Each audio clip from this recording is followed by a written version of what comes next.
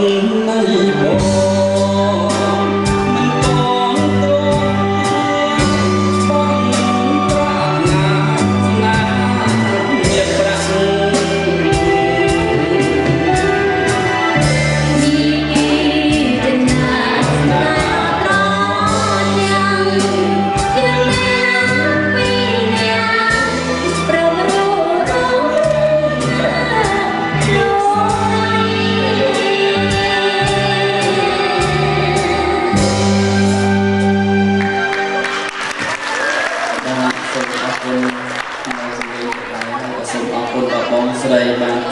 ថវិកាយើងក្នុងទីពីរនាក់បាទសូមគុណក៏សូមជូនដល់